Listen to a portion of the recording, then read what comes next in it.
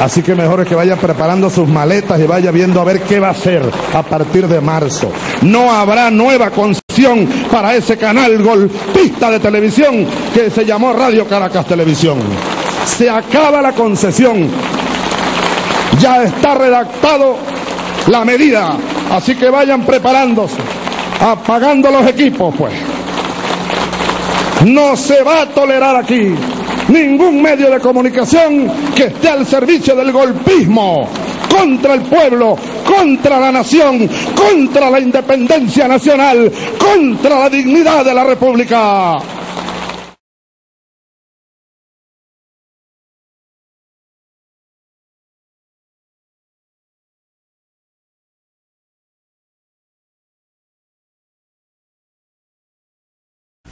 Y, eso es muy grave porque los delitos en materia de derechos humanos no prescriben. De manera que ellos serán responsables hasta el día de su muerte por la comisión de esos delitos. Y, eso no, eh, no es solamente que son responsables. Que son responsables quiere decir que son responsables civil, penalmente, administrativamente y patrimonialmente, hasta el día que mueran serán responsables. Y no, no hay piedra debajo de la cual se puedan esconder. Por eso me, sorprende la ignorancia del canciller cuando él le dice al secretario Insulsa que no tiene derecho a inmiscuirse en este asunto.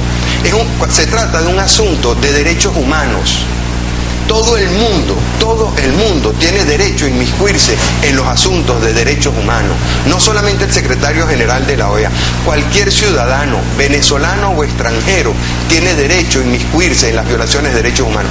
Cuando uno ve las violaciones a los derechos humanos en Cuba, en Zimbabue, en Corea o en los Estados Unidos, uno tiene derecho a inmiscuirse.